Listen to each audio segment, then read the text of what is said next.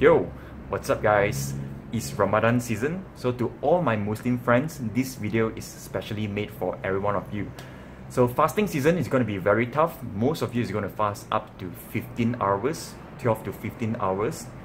And here comes the question is, is it possible to still maintain your fitness level? Or not just maintain, to improve, to progress like losing weight, getting lean, or gain muscles?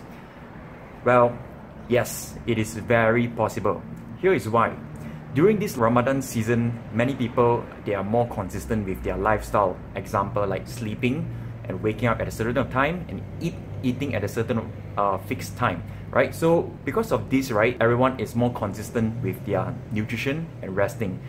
So all you need to do is just manipulate a little bit, right? Eating the right food, training the right way. I would say in, if you do it right in this one month, you can actually achieve a pretty good result, right? So first thing to do is uh, always keep your workout short. So it's very challenging for those of you who still want to train, especially bodybuilders.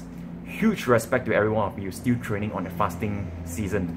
What you can do is actually shorten your workout duration. Instead of training like one hour to one and a half hour, try to bring it down to 40 minutes or even 30 minutes. The trick to shorten up your workout session is try to time your resting time. So every time when you finish training, get a stopwatch or get a timer, time it, right? Make sure you don't rest anything too long.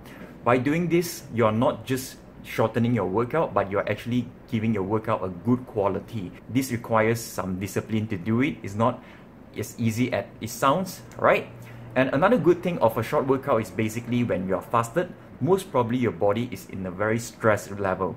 Stress level as in catabolism, meaning that you most probably going to use muscles as energy. So by keeping your workout short, you actually prevent yourself putting in your body into the catabolic mode, right? The stress mode. So get into the gym, just do your workout, finish it fast, and go back home and eat.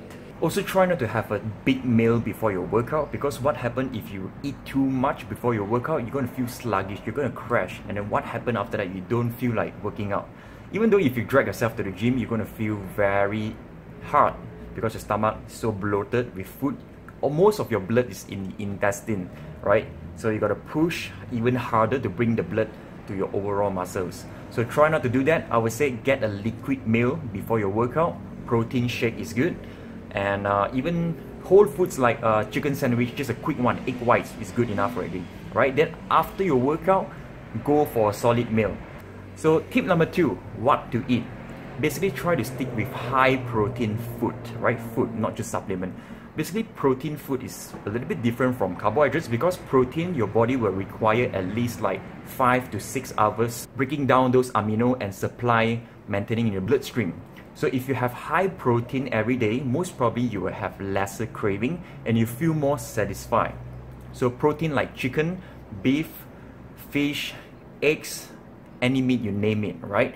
So get, getting a lot of them and try to reduce your uh, fat intake, right? Although fats help us to sustain our appetite, but most of the foods I believe during this season is already high in fat, so it's not necessary to add fats into your diet. Tip number three is drink a lot, a lot of water and don't reduce your carbohydrates too much because the moment you reduce your carbohydrates, the water can't store in your muscles. So what happens when you're fasted?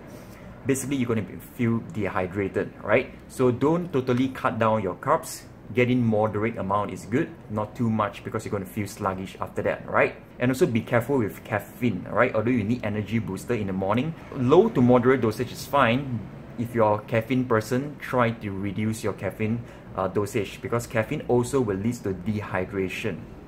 So uh, last but not least, the key message here is stay consistent, keep training 3 to 5 times a week, make your workout shorter, eat the right food. If you're travel following my recommendation on the foods to eat, what you can do is uh, go by feeling, right? You can basically follow this principle of 80% healthy or clean eating and another 20% of not so healthy clean eating. Okay, example, I'll drop your three three meals. Maybe the two two meals you can have a very good clean chicken, I mean uh, salad. Try to make it as healthy as you can. And then the other meal, right? Another meal, try to make it like a 50-50, which gives you a little bit flavor for you to feel satisfied. this is very important is because we are speaking about one month consistency, right? You don't want to feel uh, like crap during the Ramadan season. That's pretty much I want to share. And once again, I wish every one of you selamat berpuasa. Have a good one. See you in the next video. Peace.